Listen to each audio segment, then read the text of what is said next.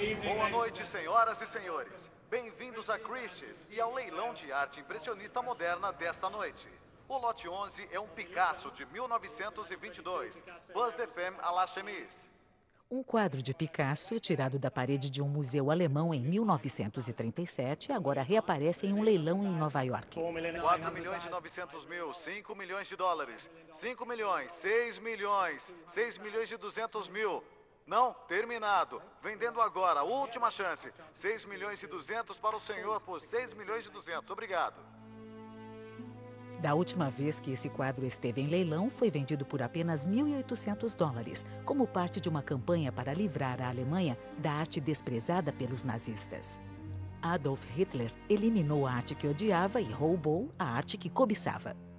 Os nazistas não foram só os assassinos em massa mais sistemáticos da história, foram também os maiores ladrões. Roubaram tudo.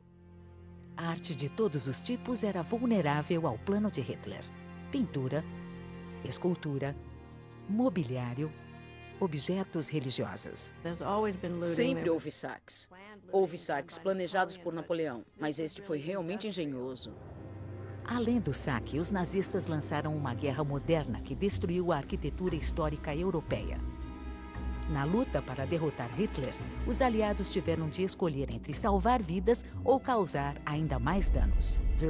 Há uma discussão antiga: o que vale mais, uma obra de arte ou uma vida humana? Hoje, mesmo após mais de 60 anos, a arte perdida ainda é encontrada. Danos de batalha ainda são restaurados e obras de arte roubadas são objeto de disputas acirradas. Tudo isso é resultado de negócios inacabados da maior guerra da história.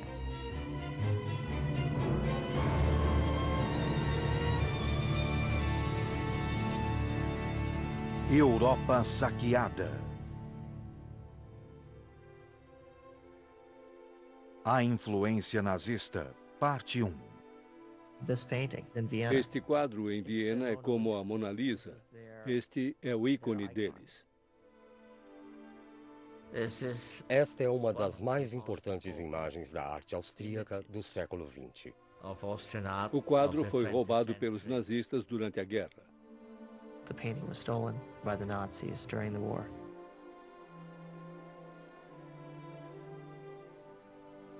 Hoje, o destino de O Retrato de Adele Bloch-Bauer, de Gustav Klimt, ainda está em jogo. A tela pode ser vista na Galeria Nacional da Áustria, em Viena.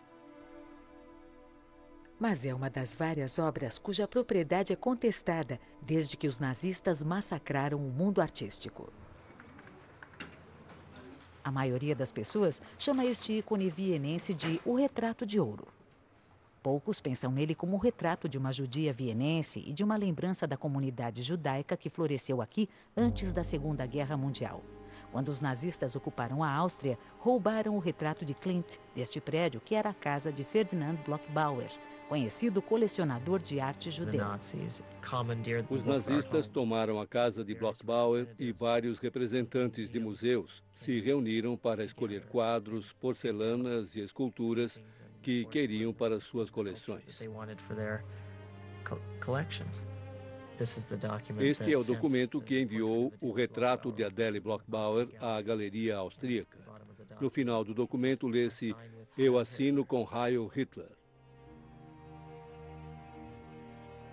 Há anos, a sobrinha de Adele Bloch-Bauer trava uma batalha legal contra o governo austríaco pela propriedade do retrato de sua tia e cinco outros quadros de Klimt que sua família possuía. Cresci vendo os quadros. Quando as pessoas perguntam se eu me lembro deles, digo sim. Todo domingo íamos lá para o almoço e os quadros de Klimt estavam na sala de Adele. Meu tio contratou Klimt para pintar o retrato de minha tia Adele. Adele e Ferdinand Bloch-Bauer eram grandes mecenas da arte vibrante de Viena antes da guerra. Artistas de todo o mundo iam à cidade para participar da Revolução Modernista. Enquanto Klimt trabalhava no retrato de Adele, três jovens artistas se inscreviam nas maiores academias de arte da Áustria. Egon Schiele e Oskar Kokoschka tornaram-se pintores modernos importantes. O terceiro era um desconhecido de 18 anos chamado Adolf Hitler. Sheila e Kokoschka foram aceitos e Hitler não. Kokoschka sempre brincou dizendo: Imagine se Hitler tivesse sido aceito e eu tivesse sido rejeitado.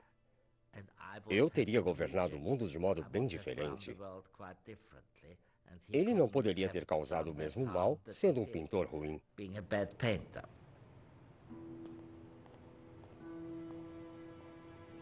Nos arquivos do porão do Centro de História Militar em Washington, D.C., estão guardadas várias pinturas nazistas, entre elas as primeiras aquarelas de Adolf Hitler.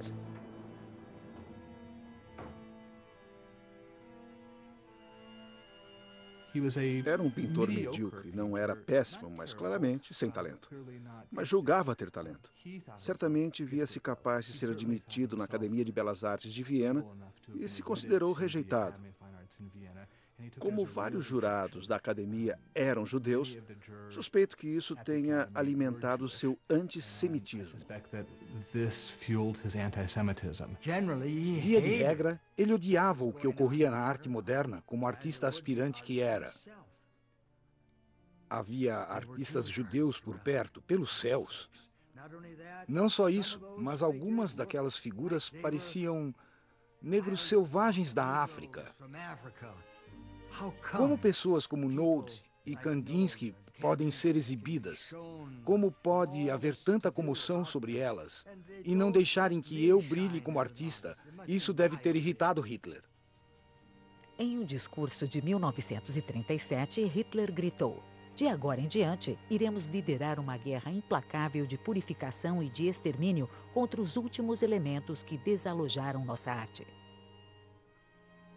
Hitler começou a limpar os museus alemães, ordenando que limpassem de suas coleções 16 mil obras de mestres modernos, como Matisse, Van Gogh e Picasso. Hitler classificou tais trabalhos de degenerados. A arte moderna foi então ridicularizada e condenada em uma exposição de enorme sucesso, Arte Degenerada, que viajou pela Alemanha. O resto da coleção de arte moderna dos museus alemães foi leiloado a preços de liquidação para beneficiar o Reich. Milhares de obras de arte removidas foram simplesmente queimadas. A Alemanha destruía suas próprias bases como líder mundial da arte moderna. Hitler escolheu o primeiro edifício para a Alemanha nazista, a Casa da Arte Alemã, em Munique. Lá, ele expunha pinturas e esculturas contemporâneas que glorificavam o Terceiro Reich.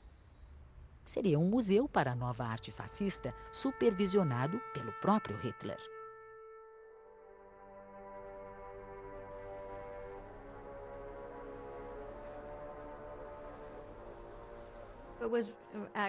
Era mesmo muito incomum para um chefe de Estado envolver-se tanto em questões culturais. Mas tudo era parte de sua ideologia racista. Tudo deveria ser puro até o último detalhe na Alemanha. Hitler ia com os curadores escolher o que ficaria lá. Isso continuou ano após ano até o fim da guerra. Tudo estava à venda, mas a maior parte tinha de ser comprada pelo governo, pois ninguém realmente queria aquilo.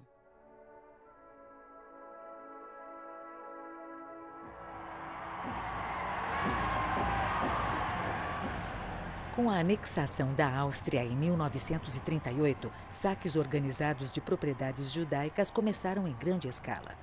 Até líderes de partidos alemães se surpreenderam pelo fervor antissemita de nazistas austríacos. Os austríacos agora falam em serem vítimas. Eles nunca foram vítimas. É claro, havia alguns contra isso, mas não no geral.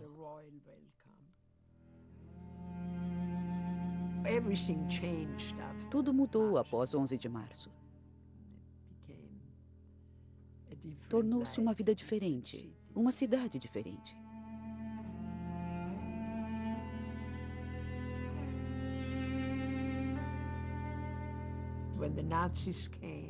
Quando os nazistas vieram, eles nos atiraram para fora do apartamento. E o homem da Gestapo tomou o apartamento para si mesmo.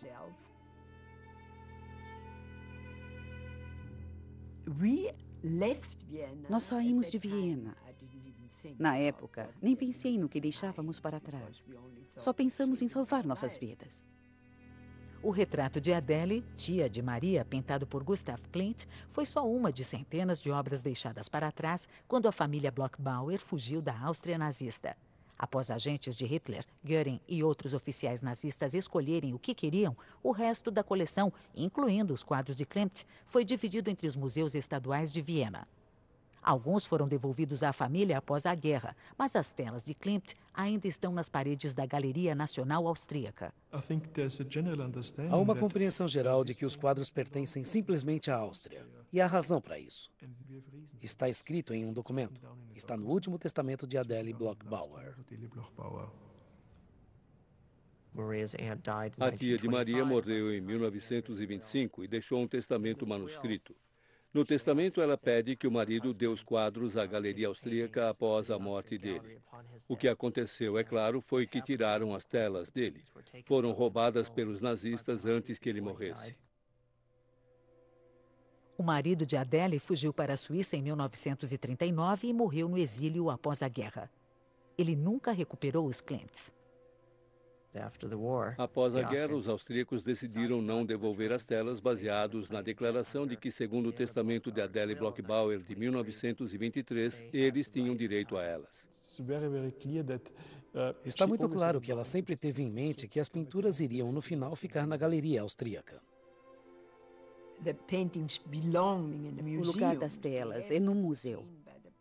Devem ser vistas pelo público, mas não na Áustria onde são mantidas lá sob uma mentira. O que me entristece é a total injustiça de não admitirem que elas não lhes pertencem. Hoje, a batalha pelo retrato de Adele Bloch-Bauer é só uma de várias disputas ainda não resolvidas na esteira da máquina nazista de saque à arte.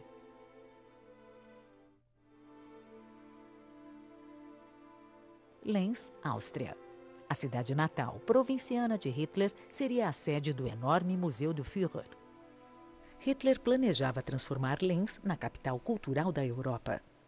Começando por esboços que desenhara na juventude, mandou seus arquitetos prepararem planos secretos para fazer da pequena cidade industrial uma grande cidade imperial.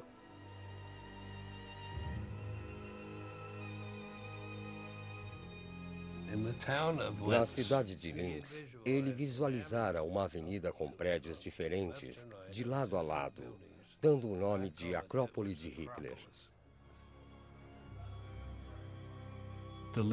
O projeto de Linz estava aliado ao legado de Hitler. Haveria uma casa de ópera, um teatro sinfônico, uma grande biblioteca, também haveria um mausoléu com seu túmulo. No centro do complexo de Linz ficaria o maior museu, não só da Europa, mas de todo o mundo. Dúzias de galerias com milhares de obras de arte.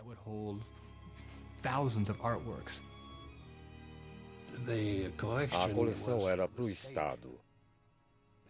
Hitler pensava que o Reich deveria ter uma grande coleção de arte pelo prestígio. E isso seria uma escala enorme. Ele estava preparado para comprar as obras de arte, é claro, mas não tinha remorso em roubá-las. O museu seria criado tanto por compras como por saques. Centenas de obras polonesas estavam na lista de desejos de Hitler, mas para os nazistas, a maior parte do patrimônio cultural eslávico da Polônia não valia sequer ser roubado. Os nazistas consideravam os eslavos subhumanos, assim como os judeus, a cultura polonesa foi declarada degenerada e marcada para a destruição. Na capital, Varsóvia, até a arquitetura histórica foi visada. Particularmente o Castelo Real de Varsóvia, lar de reis poloneses por seis séculos, sede do parlamento e do Tesouro Cultural Nacional.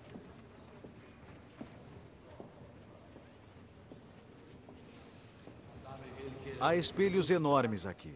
Pode-se ver o que se chama de friso, é um trabalho de estuque decorativo. Em 1939, Hitler ordenou que seus exércitos matassem sem dó ou piedade todos os homens, mulheres e crianças de descendência ou idioma polonês na invasão e extermínio da Polônia. Fiquem certos de que tudo isto é uma reconstrução. As primeiras bombas caíram aqui, destruindo esta sala.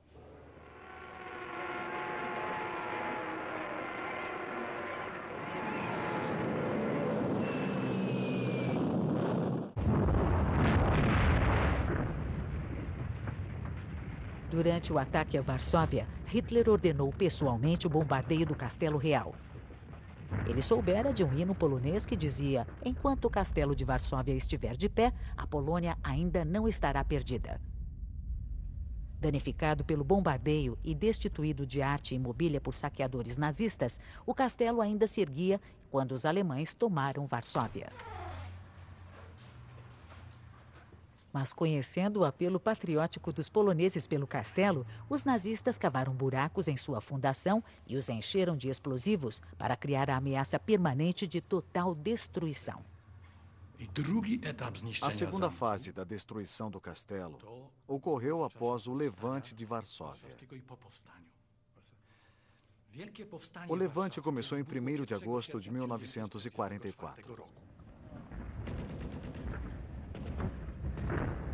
Após anos de opressão, o povo de Varsóvia se ergueu para retomar a cidade dos nazistas. A luta mais violenta e mais longa foi aqui, na cidade antiga. Os alemães esmagaram o levante, matando mais de 200 mil poloneses. E os nazistas consumaram sua ameaça. A carga de dinamite colocada quatro anos antes foi detonada, destruindo totalmente o castelo de Varsóvia.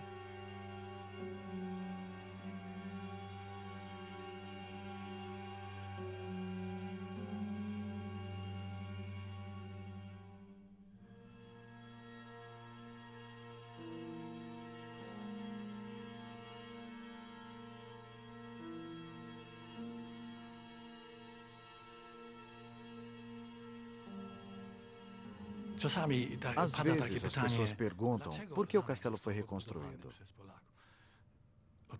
Pela mesma razão que foi destruído. Os poloneses não conseguiam viver sem ele.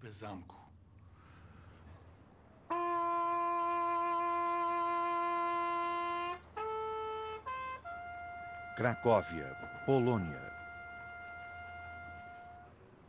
Na Cracóvia, o centro da cidade antiga foi preservado.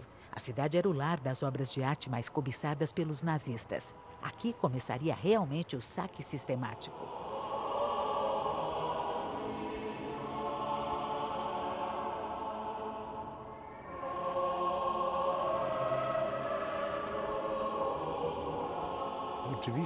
Este altar é de grande significado, principalmente para a Cracóvia. O altar impressiona pelo domínio do acabamento.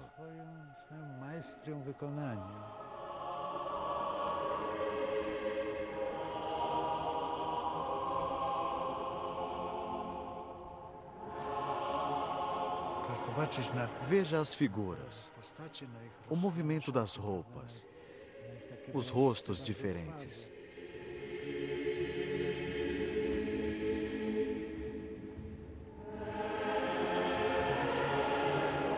Altar de Weitstoss, Igreja de Santa Maria. Weitstoss era bávaro e veio a Cracóvia no começo do século XV. Para este altar, ele usou seus vizinhos como modelos.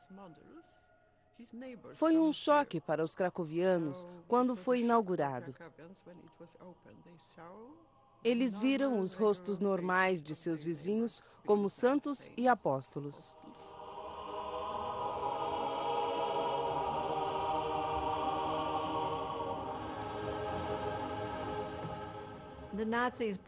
Os nazistas acreditavam que todas as obras de arte alemãs deveriam voltar à terra-mãe. Entre elas havia o altar de Weitstoss. Não importava ter sido encomendado para a igreja pelo rei da Polônia. O importante é que fora feito por um artista alemão e, portanto, não poderia estar nas mãos de uma raça estrangeira, que eram os eslavos. Os poloneses desmontaram o altar de 13 metros e suas imagens em tamanho natural. Desmontado, foi escondido no interior, mas semanas após a invasão, os nazistas encontraram as peças e as enviaram a Berlim. Foi uma grande perda para os cracovianos. Estavam tão acostumados à presença do altar aqui que não conseguiam rezar sem ele. Enquanto isso, os ladrões de arte nazistas estavam ocupados saqueando centenas de outras obras-primas polonesas. Foram compiladas em um catálogo elaborado somente para os olhos de Adolf Hitler. No topo da lista estavam Senhora com Arminho, de Leonardo da Vinci, Paisagem com o Bom Samaritano, de Rembrandt, e Retrato de um Jovem, de Rafael. As três telas inestimáveis estavam em um pequeno museu particular na Cracóvia, em posse de uma família nobre, os Czartoryskis. É, Logo antes da guerra, eles enfrentaram uma decisão difícil, como seria para qualquer um com uma coleção desse calibre. Poderiam escondê-las ali ou evacuá-las. Ambas as escolhas eram muito ruins.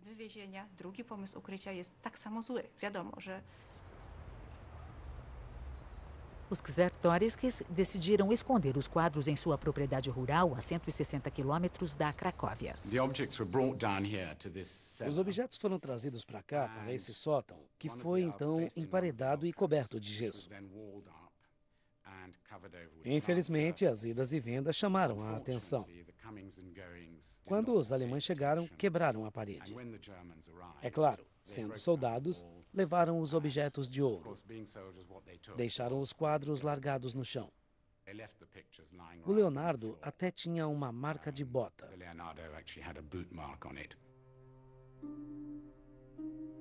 Os três quadros iriam para o Museu de Hitler em Linz, mas o novo governo nazista da Polônia os manteve em apartamentos particulares na Cracóvia. Após o fim da guerra, o Leonardo e o Rembrandt foram devolvidos pelos aliados ao Museu Czartoryski, na Cracóvia. O Rafael nunca foi achado. Se esse Rafael fosse vendido em leilão hoje, seria por 100 milhões de dólares, com certeza. Tem uma qualidade estranha de fascínio, por isso, suspeito que ainda esteja em algum lugar. O item mais importante em nosso banco de dados é o retrato de um jovem de Rafael. No Ministério da Cultura polonês, Mônica Kunk e seus colegas compilaram um banco de dados de obras roubadas durante a guerra que continuam desaparecidas. O programa contém 59 mil itens, estimado como sendo apenas um décimo da perda total da Polônia. Até recebermos informação confiável, só poderemos distribuir fotos do quadro e então esperar. Podemos esperar, talvez, por mais uma geração, até que a pessoa que tomou parte no roubo morra e seus filhos, seus herdeiros, não saibam de onde veio o quadro e decidam vendê-lo. Então, a tela talvez veja a luz do dia. Tudo o que podemos fazer é esperar.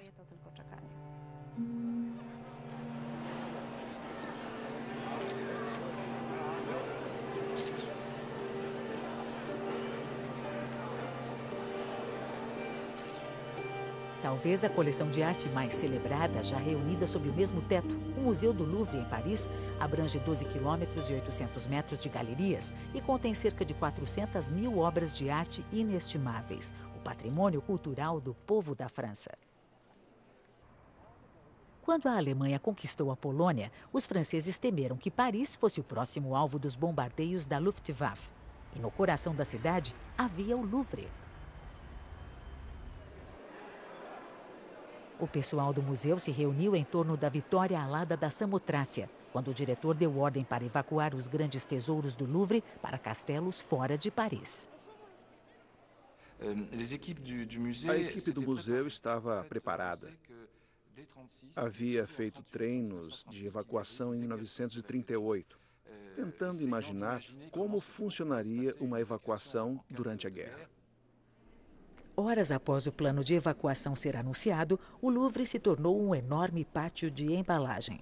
Vários funcionários foram chamados ao front. Voluntários foram recrutados em toda a cidade para ajudar a embalar as peças, desde secretárias a balconistas e motoristas de caminhão. O grande desafio era mover a Vitória alada da Samotrácia, de dois mil anos, que agora deveria descer a longa escadaria a caminho da segurança. Eu posso imaginar como se sentiam ao mover essa obra. Tristeza, certamente, mas também o cuidado necessário para salvar uma das obras-primas do Louvre. A vitória alada, que parece tão sólida, na verdade é feita de centenas de peças. Descê-la pela escada sobre a qual reinava foi um trabalho terrível. Ela poderia se estilhaçar em milhares de pedaços.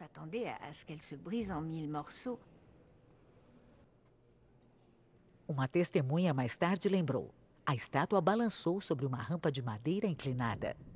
Estávamos aterrorizados.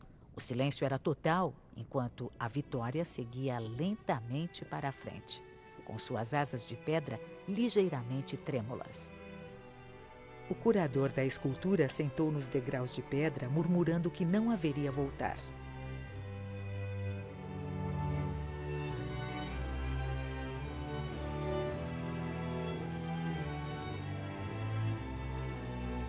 37 comboios de oito caminhões cada partiram do Louvre, deixando o vasto museu praticamente vazio.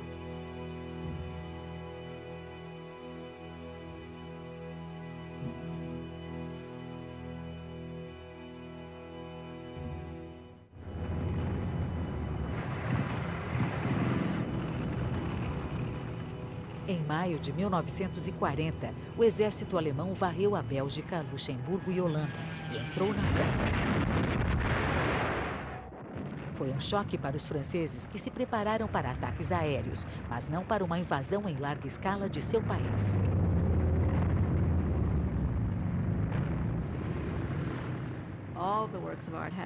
Todas as obras foram transportadas em condições caóticas, junto a milhões de refugiados que estavam na estrada. Havia um caminhão cheio de obras do Louvre e ao lado dele, outro do Tesouro Francês, cheio de barras de ouro. Os ministros do governo correndo ao lado em limusines. Era o caos total. O milagre foi que as coleções francesas sobreviveram quase intactas.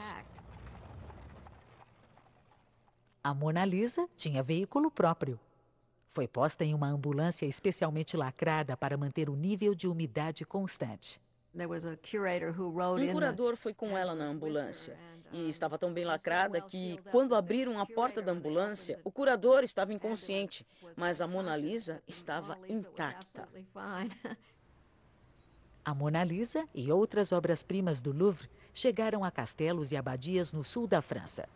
Foram movidas periodicamente durante a guerra para ficarem um passo adiante dos alemães.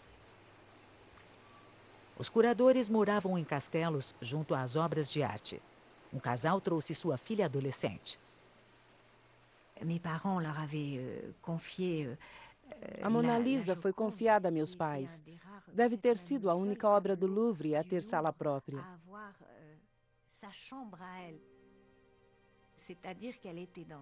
Em outras palavras, estava em uma bonita caixa de madeira. Nós a abríamos e lá, em cetim vermelho, ela sorria. Elle souriait.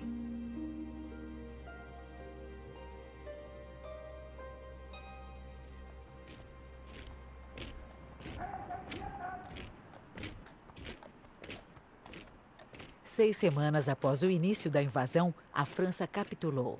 A Alemanha agora controlava a maior parte do continente europeu. No dia seguinte à rendição da França, Hitler voou em segredo a Paris antes da alvorada, acompanhado por seu arquiteto Albert Speer. Seria sua primeira e única visita à cidade. O Führer chegou a Paris cedo, pela manhã. Durante a turnê pela cidade, visitou a Madeleine.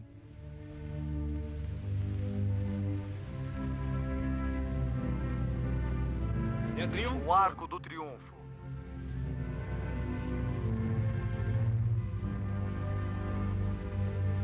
E viu a Torre Eiffel.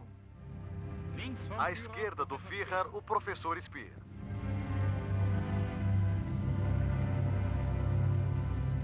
Hitler comentou com Speer: Ver Paris era o sonho de minha vida. Não sei dizer o quanto estou feliz por realizar esse sonho hoje. Hitler disse a Speer que sempre considerou destruir Paris. Com isso, ordenou a seu arquiteto que retomasse o trabalho nos planos grandiosos para reconstruir Berlim. Quando estavam completos, disse: Paris será só uma sombra. Por que devemos destruí-la?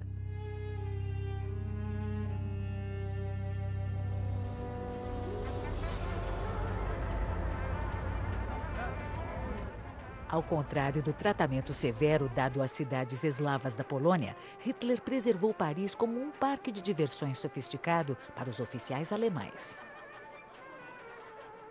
Enquanto o alto comando nazista aproveitava os prazeres da cidade, eles não se esqueciam da coleção de arte francesa ainda escondida em castelos na região rural da França. As autoridades nazistas sabiam que as obras desejadas de sua lista estavam em castelos, mas evitaram tomar as obras de coleções do Estado. Os alemães não queriam antagonizar com os franceses ou incitar uma rebelião aberta. Eles não tinham recursos para controlar cada canto da França na época. Então a tomada da França foi mais gradual. Primeiro roubaram dos judeus. Mais tarde adquiriram as obras que queriam de coleções do Estado francês. Haviam várias coleções judaicas notáveis na França. Paris era a capital do mercado de arte. Tinha grandes dinastias de comércio artístico, que tinham vastas coleções. Um mês após a ocupação nazista, a Gestapo varreu as galerias dos 15 principais marchands judeus. A família Seligman estava entre os maiores marchands de Paris. Esta é uma foto do meu pai antes da guerra, quando começou o seu negócio. Nossa.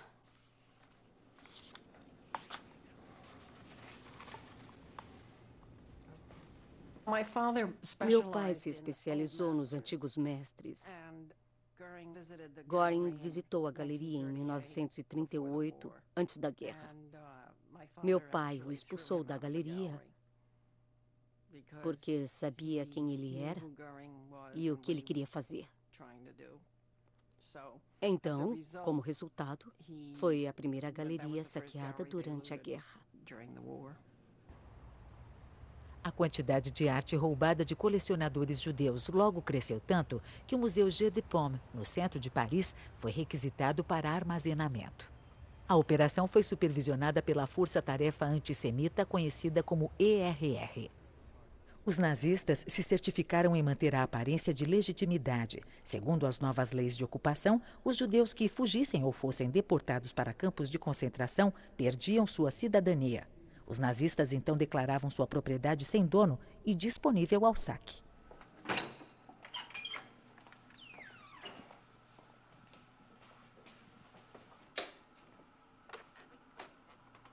Nos arquivos do Museu Nacional da França, há um volume de notas manuscritas que traça a jornada de 16 mil quadros roubados de parisienses judeus durante a guerra.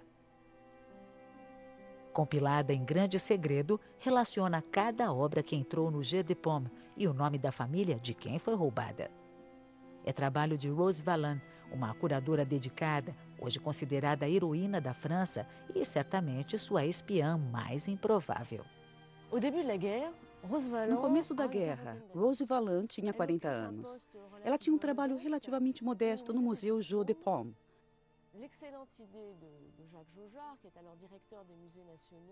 A ideia do diretor do Louvre era garantir que Rose ficasse naquele museu.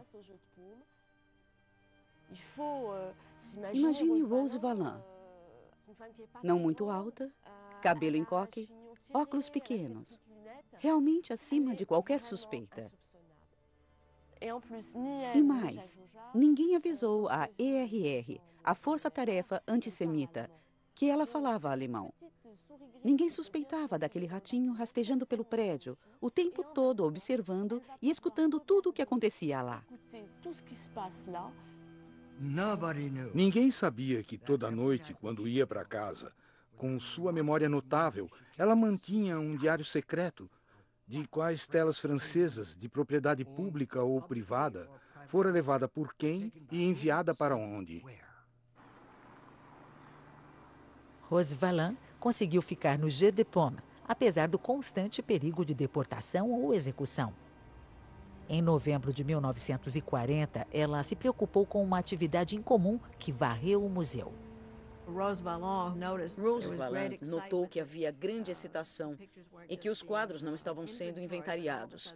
De repente foram pendurados nas paredes e parecia haver uma festa ou vernissagem de algum tipo. E realmente Goering em pessoa viera ao Jeu de Paume para ver o que havia disponível para sua coleção e a de Hitler. Ele, é claro, era esperto bastante para saber que grandes obras, como o Astrônomo de Vermeer, que fora confiscada dos Rothschilds, deveriam ir para o Führer, para o Museu de Linz. Mas isso ainda abria a possibilidade de ele mesmo levar vários itens. Nos anos seguintes, Göring visitaria o Jeu de Paume 20 vezes, levando mais de 700 obras de arte para si. Hermann Göring passou muito tempo em Paris. Às vezes havia uma desconexão. Com a Batalha da Bretanha em andamento e Göring supervisionando a Luftwaffe em seu momento crítico, quando em intervalos em Paris, Göring visitava marchands, restaurantes, boates, bebia champanhe e comia ostras.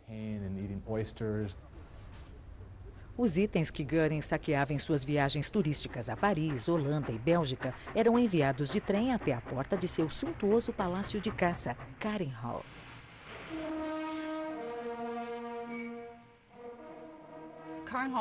Karenhall era a propriedade rural de Göring, construída fora de Berlim, e também o principal repositório de sua coleção de arte. Começou como um chalé de madeira. Era muito aconchegante, tinha uma grande lareira e muita pedra na construção. Gradualmente cresceu em tamanho. Ele o redecorou e o chalé tornou-se totalmente opulento e ostensivo. Foram feitas adições e havia galerias enormes. Vastos corredores com mármore, tapeçarias, tapetes, quadros e esculturas. Estamos falando de uma coleção que só em pinturas possuía talvez 1.700 itens. Em comparação, é mais que a coleção de quadros da Galeria Nacional Europeia de Arte. A historiadora Nancy Yeads está tentando compilar o primeiro inventário completo da coleção de arte de Hermann Göring. Um de seus objetivos é localizar quadros saqueados por Göring que se perderam após a guerra, incluindo uma pequena pintura de François Boucher roubada de André Seligman em Paris. Procurávamos esse Boucher e ficamos surpresos em achar uma imagem no site do Museu de Belas Artes de Utah que combinava com o Boucher perdido de Seligman. O Museu de Utah não tinha ideia de que era um quadro confiscado e não restituído. Fiquei sabendo que o quadro de Boucher foi encontrado quando uma senhora veio me ver. Ela disse que acharam um quadro nosso, que estava em um museu e que eles iriam cooperar. Um quadro roubado por nazistas e recuperado em Utah voltará para casa. A seguir, vocês conhecerão a história. O diretor executivo do museu diz que este é um dia importante. O registro de arte perdida deu evidência de que não tínhamos o direito à sua propriedade. Devido a isso, iniciamos a decisão de devolver o quadro aos herdeiros de direito de André Seligman. Bom dia. Sou filha de André Seligman.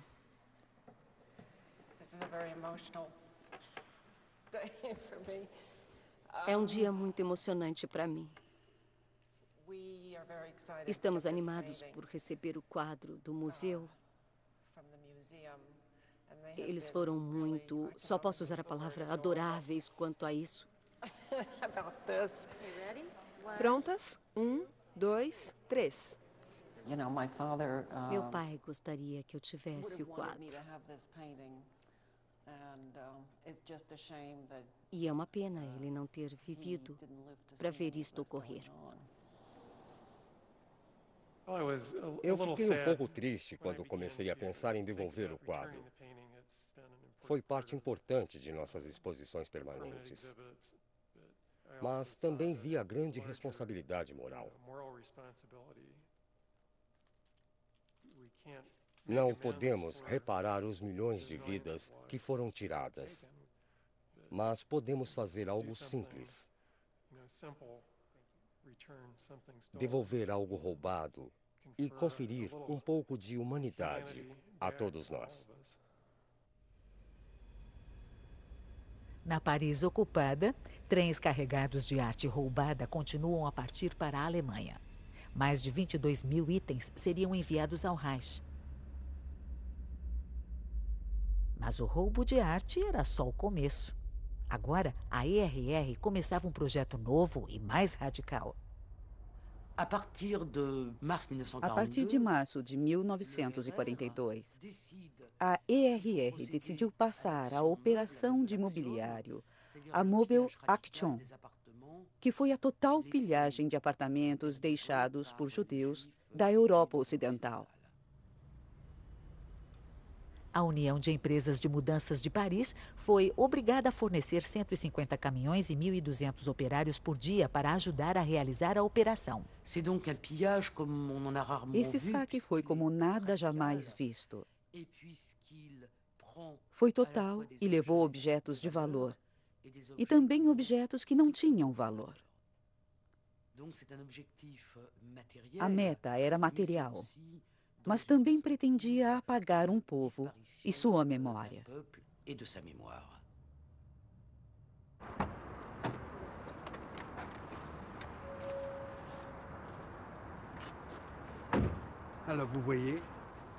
Veja, tudo mudou aqui.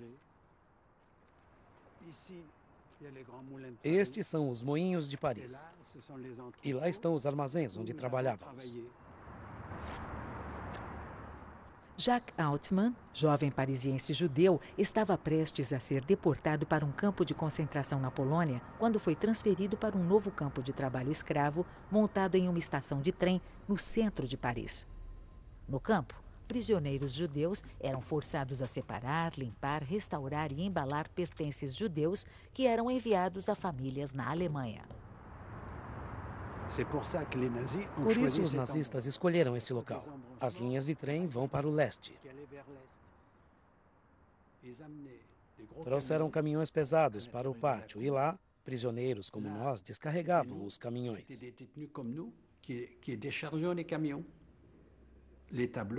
Quadros eram separados.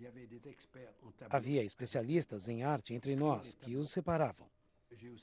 Às vezes eu via oficiais alemães virem escolher o que quisessem. Eram conhecedores. Escolhiam quadros de valor que eram então expostos. Foi um tempo muito difícil. Perdi toda a minha família. Meus pais, todos os meus irmãos. Éramos uma família de cinco meninos. Um dia reconheci as coisas de minha família.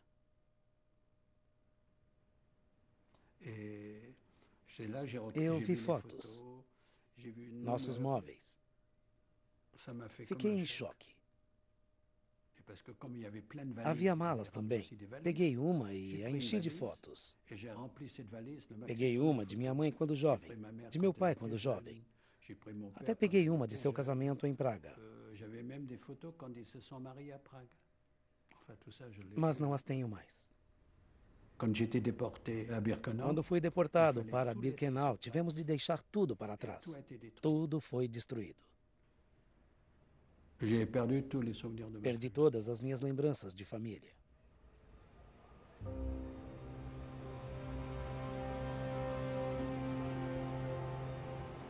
Trem após trem seguia para leste vários levando judeus para campos de concentração. Outros se seguiam carregados com seus bens e obras de arte.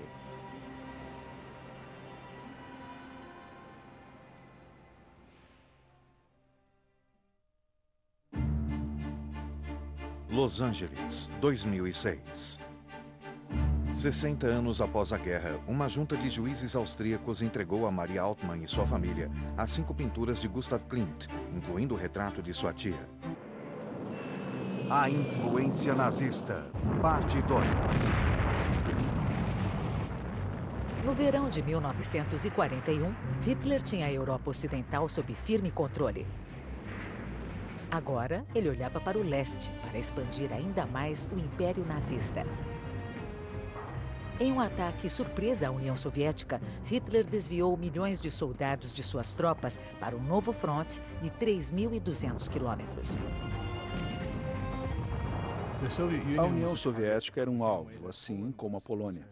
Era primariamente uma nação eslava. Na verdade, estava sujeita a um tratamento ainda mais duro, pois era comunista. Hitler ordenou que seus generais travassem uma guerra de aniquilação. Foi uma campanha terrestre de fogo que atingiu o coração da arte e da cultura soviética. Quando a notícia da invasão chegou ao Museu Hermitage, oficiais soviéticos tiraram os visitantes das galerias lotadas e começaram a evacuar freneticamente a imensa coleção. Não estamos acostumados a guerras, mas sabemos como nos comportar.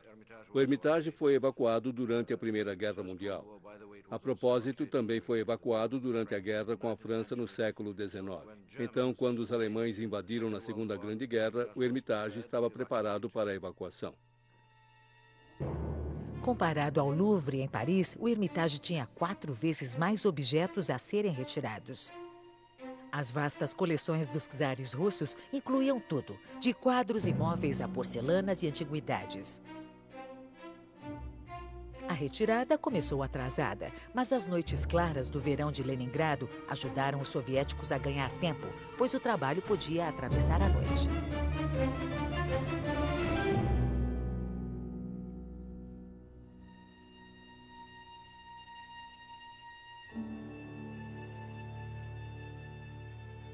Um mês após a invasão, os trens soviéticos haviam carregado mais de um milhão dos tesouros mais valiosos. Mas metade das coleções ainda permanecia em perigo quando forças nazistas cercaram Leningrado semanas depois. O inimigo estava agora a apenas 13 quilômetros do museu. Era o começo do cerco de 900 dias à cidade.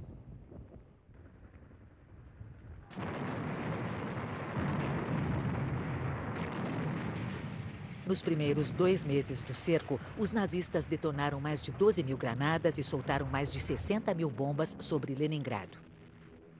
Em outubro, Hitler ordenou que seus generais varressem a cidade da face da terra.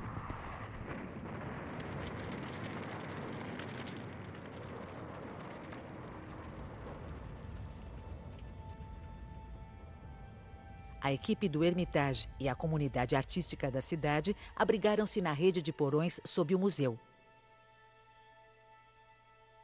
Durante o primeiro inverno do cerco, duas mil pessoas habitaram este congelado mundo subterrâneo.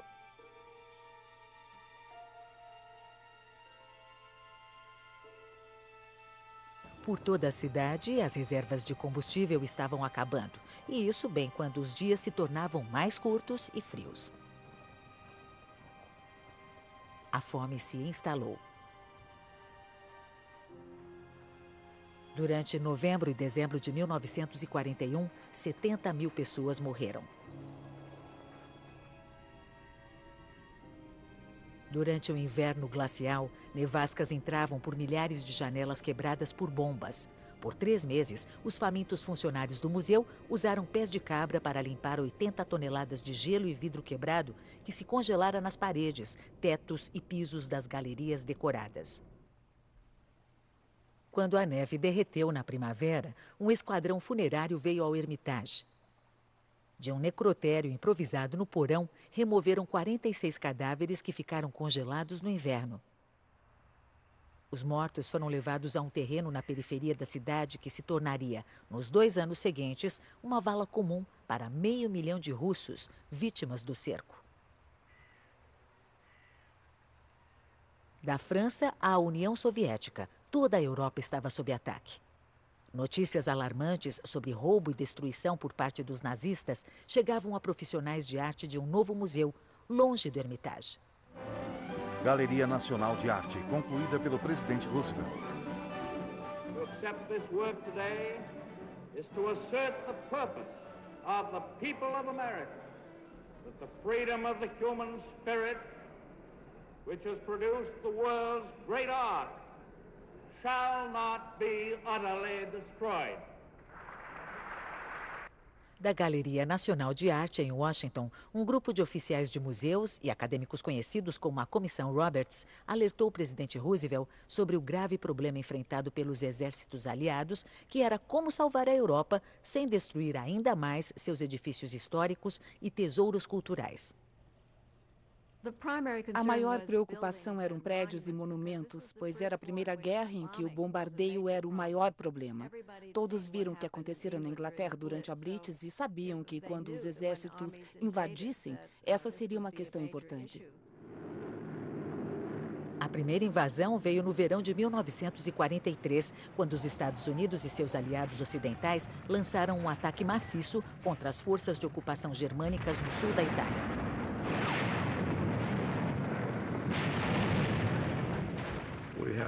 Tivemos muita dificuldade. Os alemães ofereceram grande resistência. No processo, nós quase destruímos a Itália. Várias vilas e cidades foram dizimadas. Na Itália e mais tarde em toda a Europa Ocidental, soldados endurecidos pela batalha só aumentaram o problema da destruição. Oficiais locais se queixavam de soldados aliados roubando livros, coleções de moedas e até macacos empalhados de um museu de história natural. O general Eisenhower se preocupava que essa conduta trouxesse má publicidade e, pior, viu que seu exército ameaçava prejudicar a herança artística da Itália. Seis meses após a invasão, ele ordenou a todos os comandantes que respeitassem os monumentos conforme a guerra permitisse.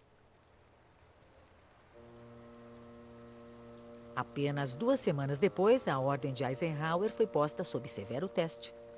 A 80 quilômetros ao sul de Roma, o avanço aliado foi bloqueado por uma montanha fortemente defendida. No topo da montanha estratégica ficava o mosteiro histórico de Monte Cassino.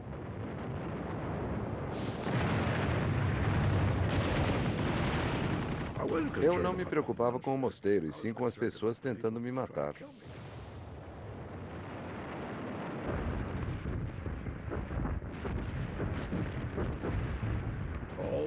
Por todo o caminho, até o cume do monte, havia alemães entrincheirados em vários níveis, atirando em nós.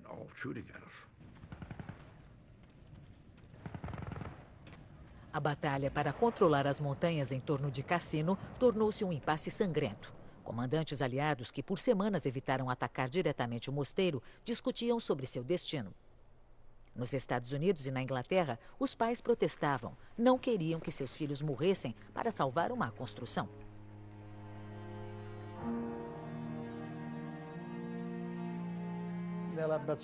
Havia 1.500 ou 1.600 pessoas no mosteiro. Fomos para lá porque sabíamos que ele não seria bombardeado. Era um monumento histórico, não só nosso, mas de todo o mundo per il mondo intero, diciamo. Desde 529, o mosteiro era o lar da Ordem dos Monges Beneditinos. Durante seus 1.400 anos, fora destruído por terremotos e invasores. A cada vez, o enorme complexo fora reconstruído. Mas então, os comandantes aliados, esperando expulsar os alemães da montanha de uma vez por todas, decidiram bombardeá-lo.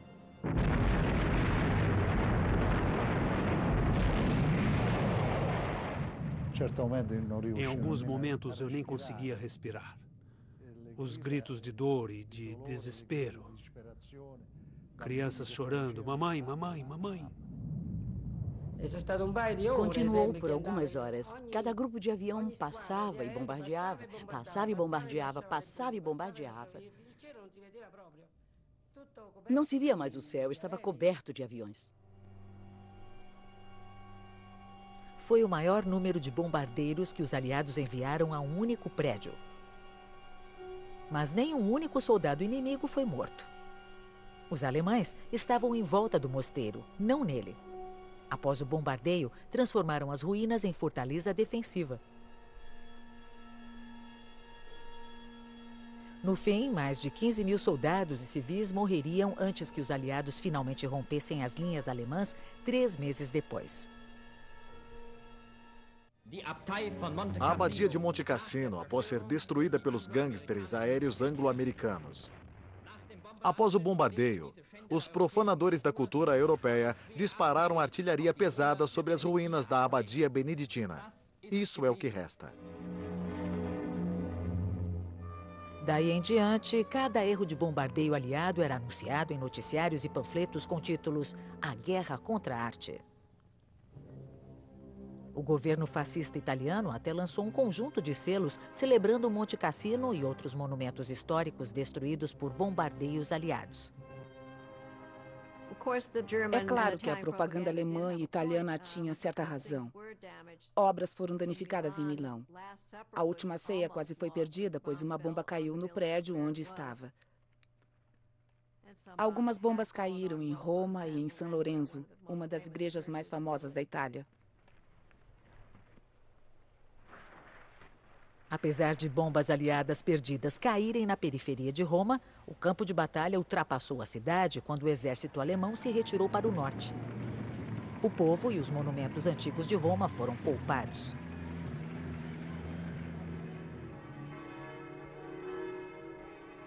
Mas após Roma, talvez nenhuma outra cidade causasse mais preocupação que Florença, cujos museus abrigavam as maiores obras de arte da Renascença italiana.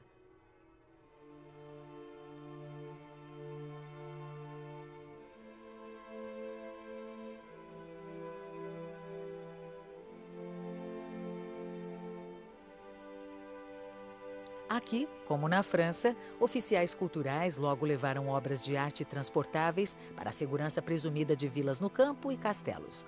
Mas a preciosa cidade em si, com pontes, palácios renascentistas, igrejas e esculturas públicas, ainda permanecia vulnerável enquanto a guerra subia pela bota da Itália.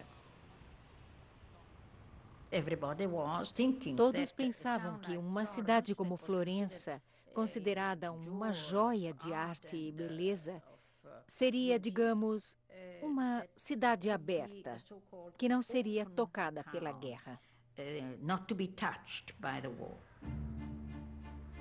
Mas as autoridades da cidade temiam o pior. Sem ter certeza de que os nazistas abririam mão de Florença sem lutar, mobilizaram operários para construir estruturas em volta das obras de arte públicas mais importantes da cidade. A cerâmica de Della Robbia, que adorna o primeiro orfanato da Europa, foi protegida em galpões de madeira. Os túmulos de mármore da Capela dos Medici foram protegidos com sacos de areia. Os seis escravos de mármore de Michelangelo e seu Davi de 4,20 metros 20 foram emparedados por enormes cápsulas de tijolos.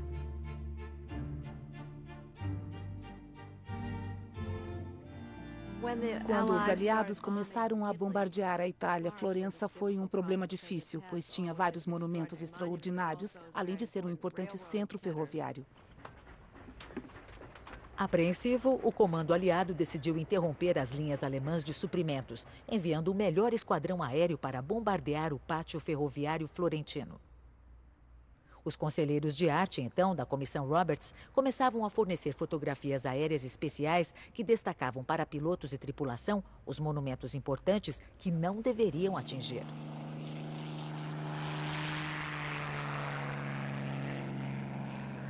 A este pequeno grupo de jovens aviadores foi confiado o destino da Florença histórica.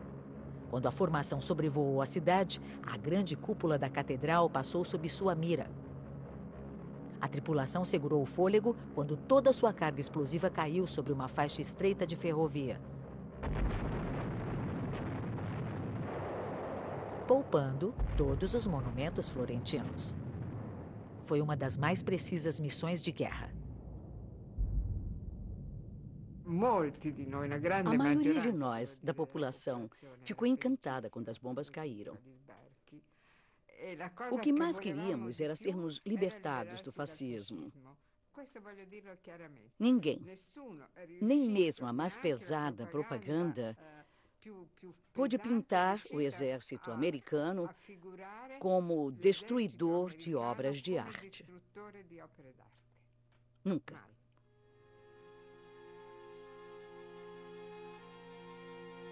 A esta altura, a Comissão Roberts persuadira o exército a levar especialistas em arte para servir perto das frentes de batalha, onde poderiam salvar e proteger monumentos e obras. Recrutados nas tropas da Força Tarefa de Monumentos, Belas Artes e Arquivos, havia jovens artistas, historiadores e curadores que, mais tarde, seriam os líderes do mundo artístico pós-guerra. Homens como James Rorimer, que dirigia o Museu Metropolitano de Arte, e Lincoln Kirstein, que fundaria e dirigiria o Balé de Nova York. Os soldados os chamavam de consertadores de Vênus. Mais tarde foram conhecidos como os Homens dos Monumentos. Não havia uma unidade de homens dos monumentos. Eram oficiais individuais postos em exércitos separados. Nunca havia pessoas suficientes na área para fazer o que queriam. Houve menos de 200 durante toda a guerra. Em alguns momentos havia só 12 nas frentes de batalha. A sensação que eu tinha por fazer algo para salvar a cultura ocidental era inebriante. Finalmente podíamos fazer algo positivo. Fomos encarregados de muito mais do que poderíamos abarcar na mente. Não tínhamos caminhões, jipes, só os sapatos. E não tínhamos nenhum tipo de apoio das autoridades. E lá estavam os homens dos monumentos falando sobre a segurança dessas estruturas importantes para alguns combatentes que tinham visto seus amigos serem mortos. Por que iriam se preocupar com isso? Why should they worry about that? No verão de 1944, a maré da guerra mudara. As forças alemãs recuavam em toda a Europa. Pelo caminho, praticavam atos de destruição vingativa. Às 10 da noite de 3 de agosto, dois dias antes de o exército alemão se retirar de Florença, uma série de grandes explosões abalou o centro da cidade. O New York Times mais tarde relataria: não é mais a Florença que o mundo conheceu. Sob ordens de Hitler, o exército alemão explodira as pontes centrais da cidade. Foi preciso três tentativas para derrubar a ponte Santa Trinità, com arcos desenhados por Michelangelo. A ponte Vecchio foi poupada, mas milhares de metros da antiga Florença foram demolidos dos dois lados. Mas imaginar. Nunca imaginei que explodiriam as pontes. Até ver a Bela Santa Trinità destroçada em tantos pedaços. Chorei de dor. Era uma dor real. Não foram só as pontes. Nas duas ruas principais que vão da Ponte Vecchio até a cidade, Havia torres medievais enormes e bonitas que caíram.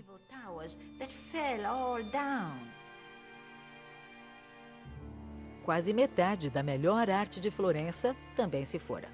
Com total desconsideração por seus ex-aliados italianos, o exército alemão desviou um comboio de caminhões do front para levar Michelangelos, Botticellis, Rafaéis e qualquer outra obra-prima que pudessem. Os alemães embalaram as obras muito mal. Foram levadas durante a batalha em caminhões abertos, muitas vezes na chuva, só cobertas com palha. É um milagre que tenham sobrevivido.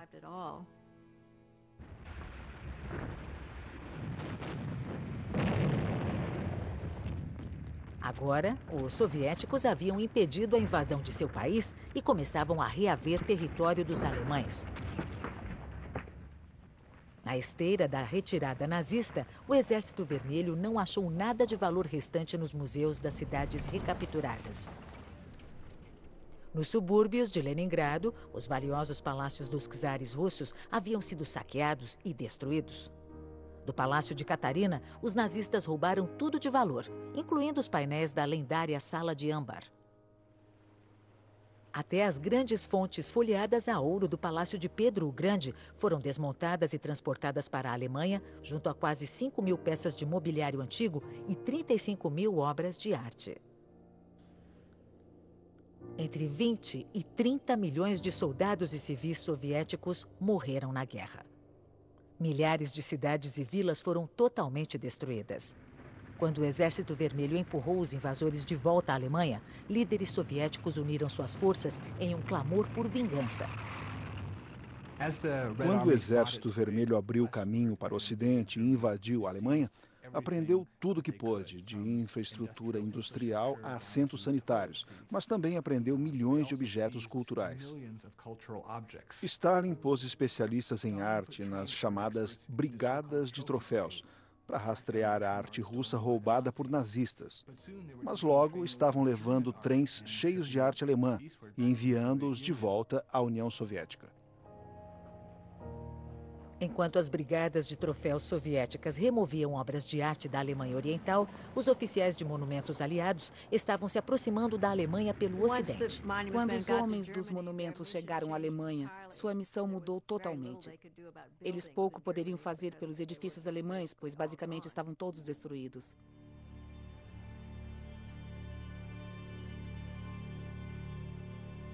Durante meses, bombardeiros aliados haviam atacado centros industriais e urbanos da Alemanha.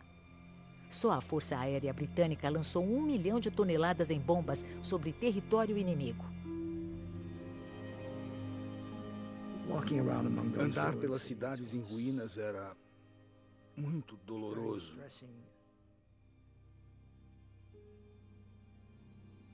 Não importa o quanto o governo deles fosse culpado. Só de pensar que tínhamos destruído aquelas cidades com nossos aviões. Mas na seção de monumentos e belas artes, nós tentávamos eh, restaurar algo que valesse a pena salvar. Eles mudaram seu trabalho para a proteção de obras de arte móveis que acharam em inúmeros esconderijos por todo o país. A 160 quilômetros da fronteira alemã, guardada entre refugiados vivendo na miséria, os oficiais de monumentos acharam a primeira das coleções alemãs de museus escondidas. Mais para o Oriente, oficiais britânicos acharam um esconderijo já pilhado por ladrões comuns. Em uma mina de sal no centro do país, os generais Eisenhower, Patton e Bradley foram chamados para ver o maior achado de todos. Guardadas junto a inteiras reservas de ouro do Terceiro Reich, estavam 400 toneladas de arte dos grandes museus de Berlim. Diariamente, homens salvavam milhares de obras de arte vulneráveis que as autoridades de museus alemães haviam removido por proteção. Mas a maior descoberta das pilhagens nazistas estava por vir. Aliados capturam saque e criminosos alemães. O castelo Neuschwanstein abrigava grande parte dos tesouros de arte roubados pelos nazistas. Não contentes em roubar das pessoas a liberdade e a vida, os nazistas tentaram levar seus símbolos de cultura. Aqui, longe das cidades arruinadas, os aliados finalmente alcançaram o primeiro de três impressionantes esconderijos de arte roubada. Acharam o castelo de Neuschwanstein, cheio de propriedade tirada dos Rothschilds e outros judeus eminentes de Paris. Uh, Era só uma sala após a outra, de quadros, objetos domésticos, porcelana, prataria. O número de objetos levados das vítimas na França foi medido em milhares. Eram as coisas da ERR de que Rose Valland havia avisado as pessoas. Ela tinha até, em alguns casos, recibos da empresa de transporte local que as enviou. Levamos um ano para esvaziar o castelo. A carga de 49 vagões de trem, tudo embalado compactamente, é muito. Meu conhecimento do Holocausto começou em Neuschwanstein. Da tomada de vidas, soube muito mais tarde. Neuschwanstein, quando olho para trás, foi o começo da abertura de de uma parte da história que não deveria ser esquecida.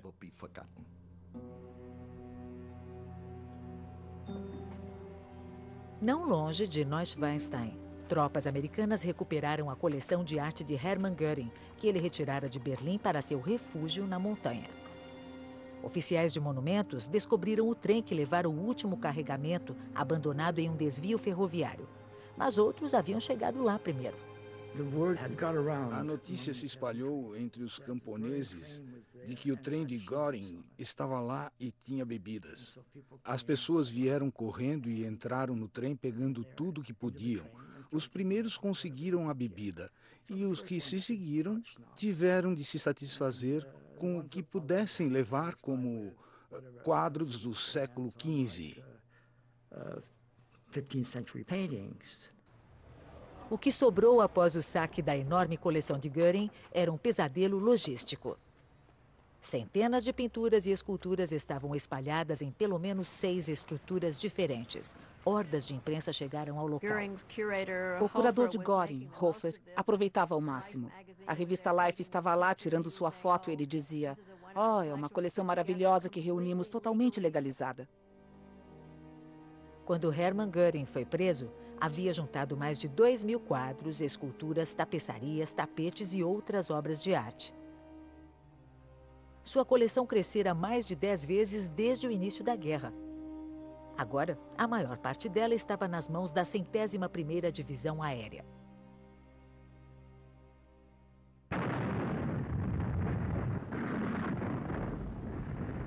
No fim de abril de 1945, o Exército Vermelho Soviético abria caminho pelas ruas de Berlim.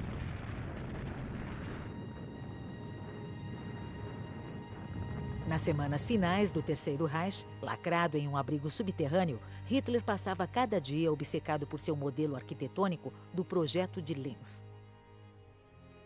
Ele convidava com frequência seus poucos generais restantes para verem o modelo e ouvir seus planos para a cidade. Antes de cometer suicídio em 30 de abril, Hitler ditou seu testamento, expressando o desejo de que um museu do Führer ainda fosse construído para exibir sua coleção de arte após sua morte.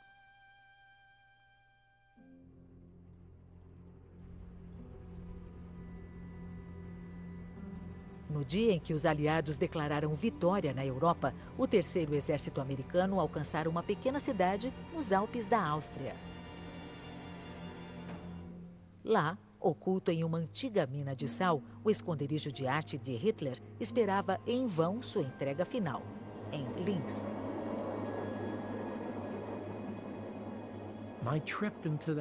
Minha viagem naquela mina me lembrou Alice seguindo o coelho pela toca até o País das Maravilhas.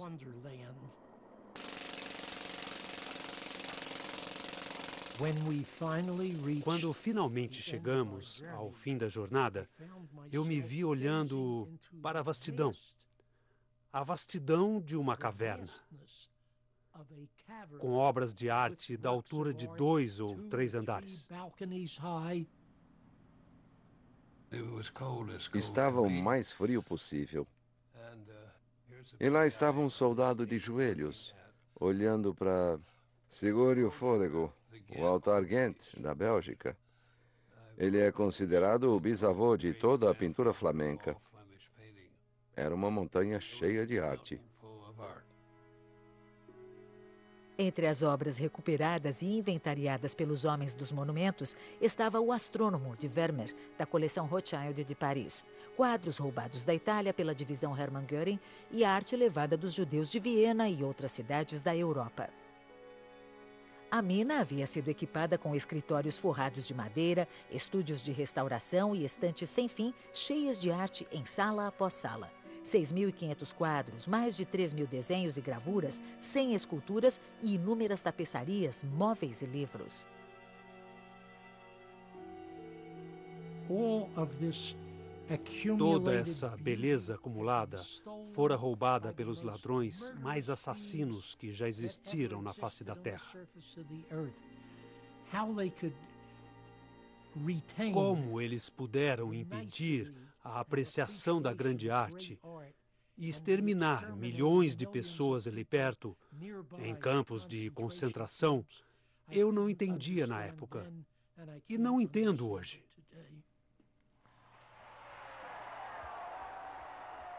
Finalmente, a guerra acabara. Após seis longos anos e cerca de 50 milhões de mortes, de algum modo, em cidades por toda a Europa, os sobreviventes acharam energia para celebrar. Na Itália, o oficial de monumentos Danny Keller deu ao povo de Florença ainda mais para celebrar. No alto dos Alpes italianos, Keller achara os tesouros de arte roubados da cidade. Keller acompanhou o trem que trouxe os Rafaéis, Botticellis e Michelangelos de volta a Florença. O documento de embarque avaliou a carga em 500 milhões de dólares e listou o conteúdo apenas como tesouros de arte. Mas na Alemanha pós-guerra, os homens dos monumentos ainda eram responsáveis pelo legado de séculos de civilização oriental. Sua primeira tarefa foi reunir tudo em centros de coleta. Quando eu cheguei a Munique, a parte principal da cidade já tinha perdido o telhado. E havia prédios destruídos por toda parte. Mas, por incrível que pareça, o lugar que deveria ter sido bombardeado ainda estava lá o quartel-general nazista. Ele foi transformado em centro de coleta. Eu tinha de prepará-lo para receber obras de arte em 14 dias. A ideia de que o altar de Ghent e a Madonna de Bruges de Michelangelo viriam deixaram uma forte impressão. Eu tinha de estar pronto para recebê-los. Ao norte de Munique, na cidade de Wiesbaden, os homens dos monumentos montaram outro centro de coleta bem a tempo de receber seu primeiro grande carregamento. 56 caminhões vieram num período de quatro dias, todos protegidos por metralhadoras e veículos armados. Cada objeto devia ser inspecionado, catalogado, fotografado e, em muitos casos, restaurado. Chegavam a Munique e Wiesbaden as coleções de Adolf Hitler, de Hermann Göring, dos museus nacionais da Alemanha e da Áustria. Arte pilhada de toda a Europa. Os dois centros de coleta, talvez naquela época, com tudo que continham, podem ter sido os maiores museus do mundo. Havia 27 Rembrandts na coleção, várias pinturas de Rubens, Botticelli, Masaccio e toda a lista. A Leda de Correggio era uma beleza. Na parede da frente daquele escritório havia um maravilhoso Degas que se tornou o meu favorito. Só o escritório valeu o preço de entrar na Segunda Guerra Mundial. Havia tanto a fazer que não tínhamos tempo de nos regozijar. A responsabilidade de ter esses itens conosco realmente dava muito o que pensar. Fiquei um pouco trêmulo às vezes, mas tínhamos de fazê-lo.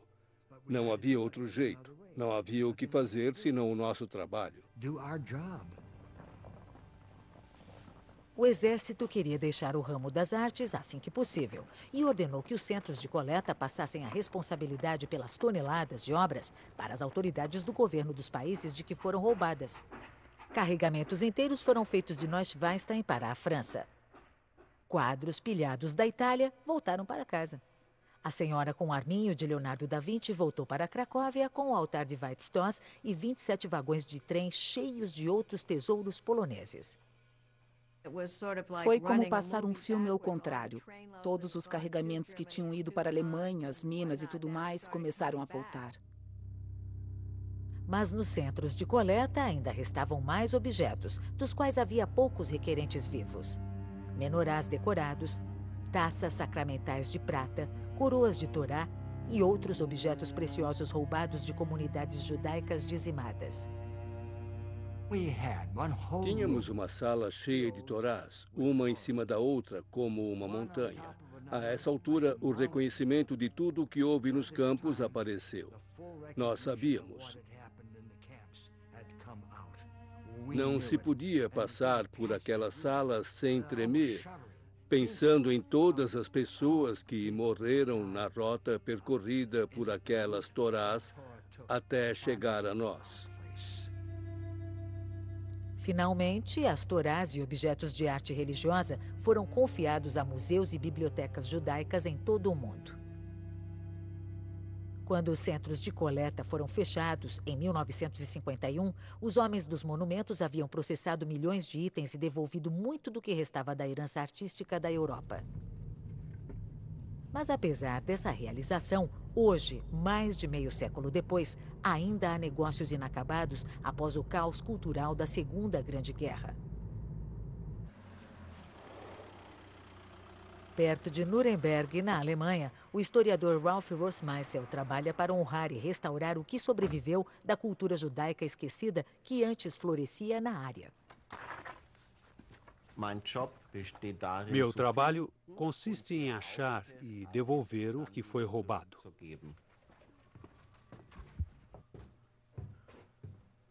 Em sinagogas abandonadas como esta, em Kromheim, Rossmeissel procura evidências da vida judaica que já houve aqui. Estamos no sótão de 1816. Aqui estão textos hebraicos usados e guardados no sótão. E, é claro, esquecidos durante a era nazista. Se, como cristão, você pode devolver algo, acho que é uma coisa boa. Ross Meisel adquiriu recentemente uma coleção de coroas de Torá de prata que passaram secretamente por várias mãos desde a guerra. Estes são rimonim, decorações do pergaminho da Torá. São pequenas coroas que vão em cima, com sinos dentro.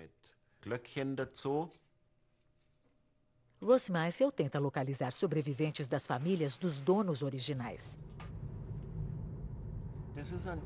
Há uma diferença entre olhar para objetos religiosos roubados como arte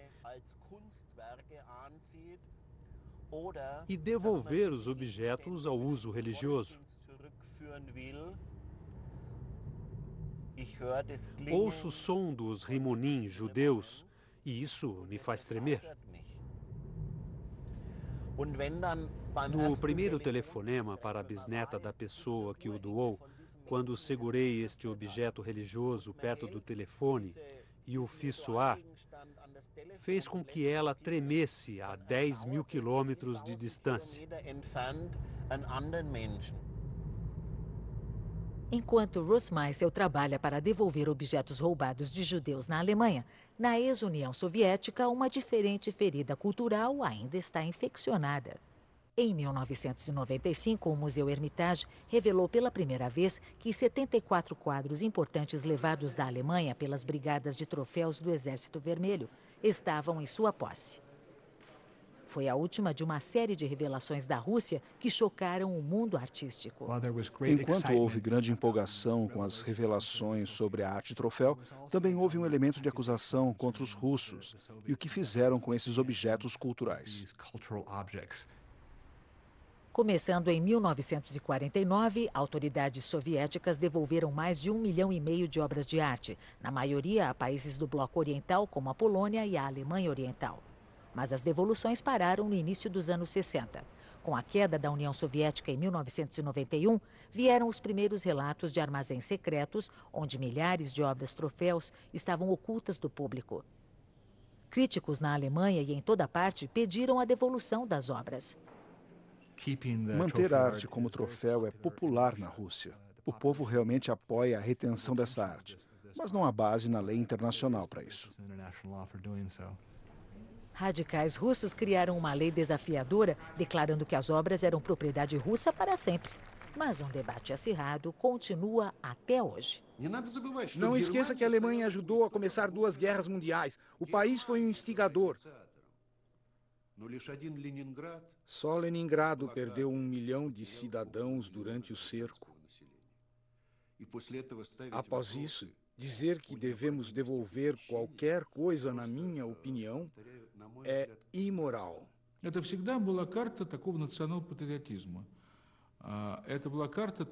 Isso sempre foi um trunfo político para nacionalistas extremos. Minha posição é simples. Temos de achar uma solução civilizada. Lembrem-se que ainda temos de viver juntos na Europa por muito tempo. Saber que um quadro alemão está na parede do Museu Pushkin não pode curar a dor de meu pai voltar de Stalingrado sem os dedos.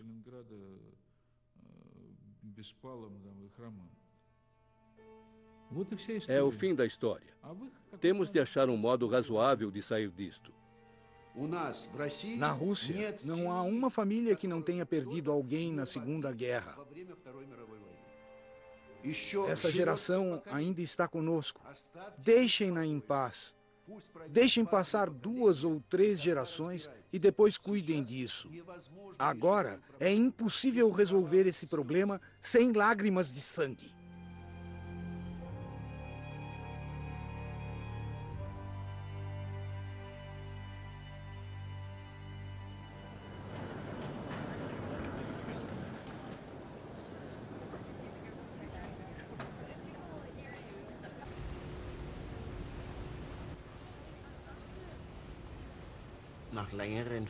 Após pesquisa intensa, achei descendentes nos subúrbios de Nova York.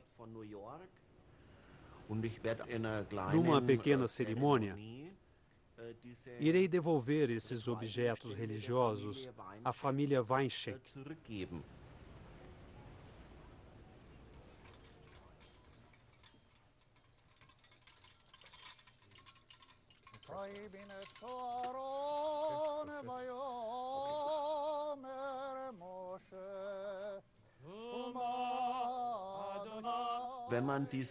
Quando você ouve os objetos soarem de novo, não sou judeu, mas tenho lágrimas nos olhos como eles. E é uma coisa bonita.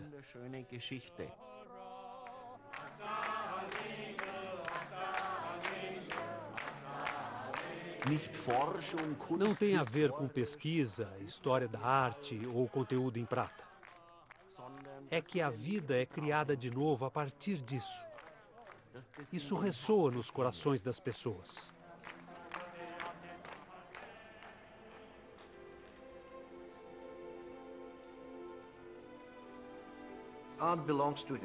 A arte pertence à humanidade.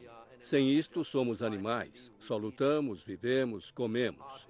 A arte é o que nos torna humanos.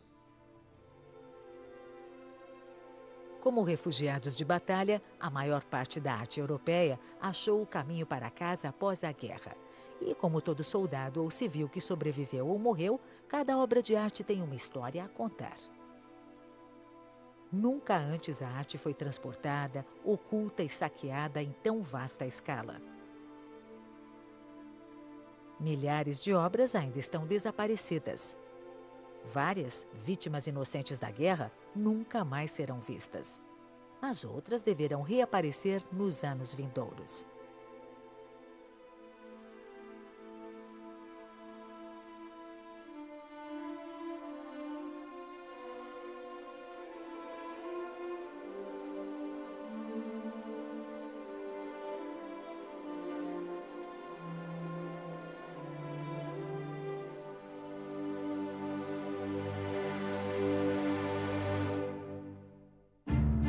Versão Marshmallow São Paulo.